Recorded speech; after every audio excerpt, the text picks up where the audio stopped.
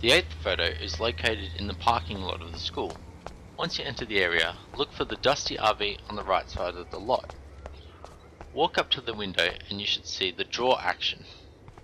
It's not a dirty window unless somebody writes clean me on it.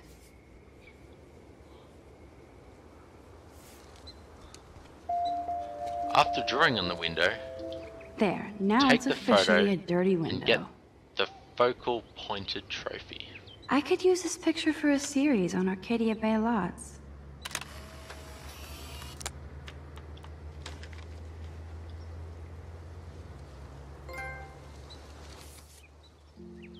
If these videos are helping you, subscribe to my channel, like the video, and leave any comments below. If not, still leave comments and tell me what I'm doing wrong. Cheers.